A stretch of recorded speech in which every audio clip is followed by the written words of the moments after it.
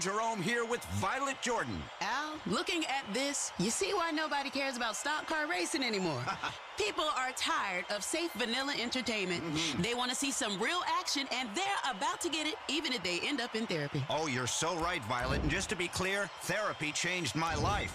We formed this civilization together, and together we can tear it down. Speaking of which, we are sponsored tonight by Nogo Vodka. Tear down your inhibitions and have a night you won't remember. Oh, that sounds like fun. My kind of fun.